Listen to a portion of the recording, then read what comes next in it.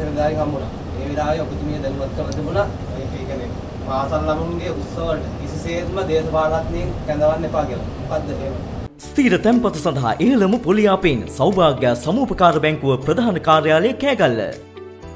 මොකද්ද ඒ සමාන කියන්නේ? ඒක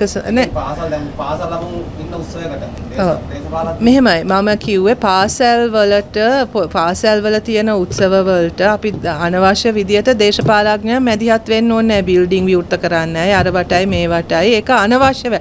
අපිට ඒක ඒක සාමාන්‍ය විදියට කරගෙන යන්න ඕනේ. මේක දැන් හැම එකටම දේශපාලඥයා එන එකෙන් තමයි එකක් වියදම වැඩි වෙනවා නාස්තිය වැඩි වෙනවා මේ ස්පාසල් දරුවනුත් එතකොට නිකං ඒ දේ- දේ- දේශපාලන ව්‍යාපෘතියක් වෙනුවෙන් පාවිච්චි වෙන එක අපි පුළුවන් තරම් ඒ සංස්කෘතිය වෙනස් කරන්න ඕනේ. එතකොට ඒක තමයි මම යෝජනා කරේ මේ අනවශ්‍ය විදියට දේශපාලනය හැම් දේශපාලඥයන් හැම එකටම මැදිහත් විය යුතු නෑනේ.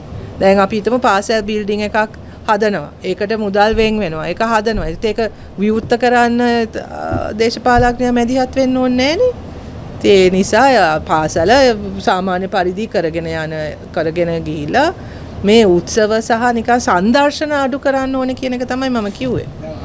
දසත සිසාරා විශ්වාසයේ සන්නාමය දසත නිවස් දවසේ දසත පැතිරුණු පුවත් ඇසිල්ලෙන් දැනගන්න දසත YouTube නාලිකාව සබස්ක්‍රයිබ් කරන්න.